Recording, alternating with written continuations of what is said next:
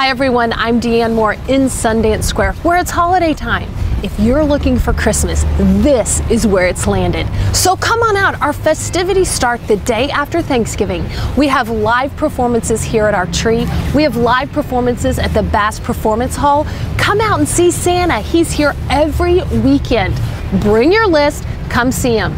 We don't care if you're naughty or nice. Just come on out. Come see our tree. It is authentic. It's huge. It's beautiful. We don't do fake here in Sundance. It's awesome. So come on down.